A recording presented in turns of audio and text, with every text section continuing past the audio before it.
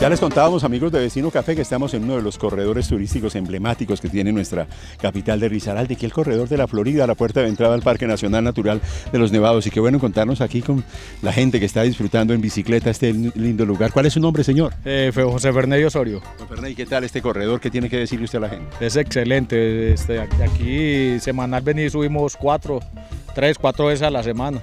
Sí, los, los fines de semana, los domingos en la mañana, es excelente todo. Sí. ¿Cuánto tiempo demora usted en el recorrido que hace? ¿Desde dónde viene de Pereira? Eh, venimos de Dos Quebradas, vamos para, para el río, para arriba, para la Florida. Eh, es excelente la ruta.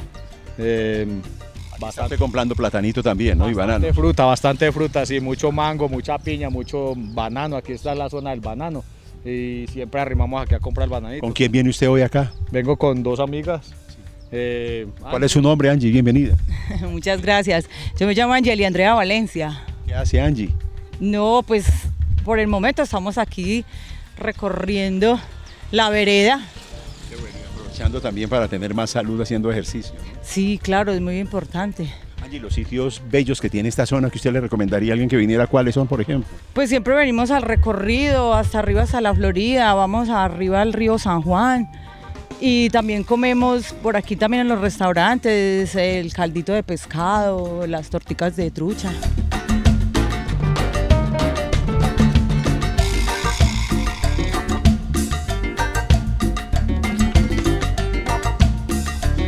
Y este es un verdadero corredor gastronómico, este corregimiento de la Florida, porque aquí encontramos de todo. Es increíble la cantidad de opciones gastronómicas que tiene la gente los fines de semana y todos los días. Estamos con el propietario de La Delicia de los Abuelos, un, restaurante realmente reconocido, y estamos con su propietario. ¿Hace cuántos años ya usted con su restaurante acá? Llevamos 10 años aquí con el restaurante en la Florida. Bueno, ustedes son famosos por el Festival del Gallo Campesino acá, el gallo que canta. Desde luego que es algo ya tradicional aquí en el corregimiento de la Florida. Ahí aprovecho la oportunidad para invitar a todo el, conglomerado de personas que haya en Pereira, en Colombia y a nivel internacional para que venga a degustar la trucha original de aquí de eh, la cuenca del Otón. Ese es el plato típico de esta zona, ¿no? El plato típico es la trucha porque tenemos el criadero aquí directamente en la cuenca del Otón en peo fresco.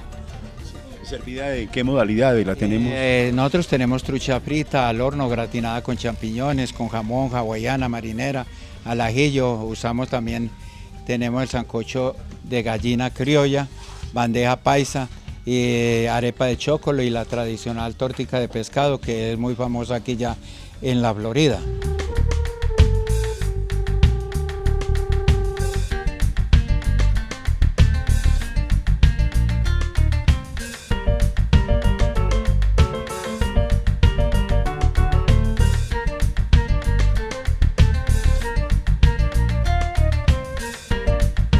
Bueno, en este momento nos encontramos súper felices, estamos muy contentos porque nos encontramos en el corregimiento de la Florida haciendo un recorrido mm, espectacular que se lo recomendamos a todos. Acabamos de llegar, nos encontramos con una casa muy linda, y inmediatamente dijimos tenemos que hablar con la dueña de la casa para que nos cuente un poco acerca de la historia, un poco acerca de cómo la ha cuidado durante todos estos años Doña Doris.